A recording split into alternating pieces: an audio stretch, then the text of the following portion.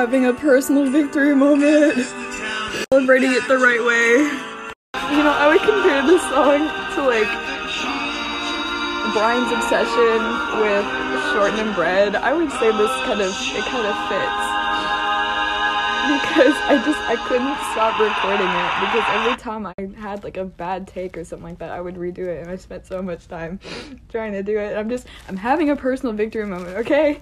Like I worked on this for such a long time. I know the video is kind of bad. I didn't really know how to um I had to I had to I, s- I still don't really know how to do it, but I mean, the point was I needed to like put it out, you know? And so I've had I've had it on SoundCloud since November, but I didn't say anything cuz I wanted I wanted something to go along with it, something to watch, you know. But I just Oh god, the I feel like a whole chapter of my life just like closed, you know? Because I s- like that's what I the majority of my time or whatever would be spent to trying to just like sit and learn the song and parts and everything. And I like I I literally obsessed over this song and I I I think that kind of comes across um if you listen to it because I spent a very unholy amount of time trying to at least get it right. And there are still some parts that bother me, but I promised myself I wasn't to touch it and then listening to it now I realized, you know, like it doesn't it doesn't sound as bad as I thought it was because I had to just I had to step back because I was so I was so in it. I just I wanted to fix everything, but some of it just didn't need to, you know? So anyways, um enjoy, I guess, you know, the, do do the thing, guys. Stream it, please. Before I go, go tag them, please. Don't let me be the only one in the comment section adding the literal snot out of them. I'm not. I'm. I, I don't really. I don't want to like flood their ads. I mean, I don't know. I'm like. I'm. I'm in between because I want. I want them to see what I did, but then it's like I don't want to bother them, you know, because like you know, I don't. I don't want to do that, but I guess we'll see what happens. Anyways, um, yeah. So please help help your pal out. Please, thank you. I just want to quickly come on and say thank you so much for all of the like you know.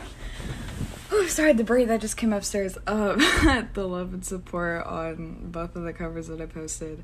Um, I was really nervous about it, but I was gonna do it anyways because I needed to do that for myself. Um, but yeah, so I'm really, I'm really glad that. Hang on. Mm. That you know, it was. uh I'd say it was pretty well received, so it's it's exciting, um, for sure. Uh, I really love um, making acapellas in my free time, like a lot. Like, uh, yeah, I just I really I I think it's so much fun. Um, so I'm really excited because I I can you know like I'll post that here, whatever else you know those those type of things. So I'm I'm very much excited. Uh, to do that. So stay tuned. But yeah, like I said, it's I love this song because it's very brilliant and it's very complex and it's very intricate. Like it's it's just it's genius. It really is. I don't know how else to put it because if you actually listen to it, it's just it's absolutely amazing. But yeah, I think I think it was a great first cover to to do because it it shows so much of what I can do. Um, just both musician and singer wise because I sang all the parts. I did seven parts. I like I I did I did that. I had to I had to figure out how to do that. That was something I had to listen very hard for. Um, but I wanted the harmonies right because I, I loved I loved the harmonies at the end so much. I wanted I wanted it to be right, and so I I made sure it was right. Um, because like I said, I obsessed over this song last year. I just I I couldn't get enough. But yeah, I promised I promised I would stop talking, but I just I, I felt like I wanted to say that too. Um, sometimes I come up with things I want to say after the fact.